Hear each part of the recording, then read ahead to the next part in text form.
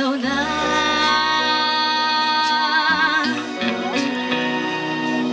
Só as lembranças que doem ou fazem sorrir.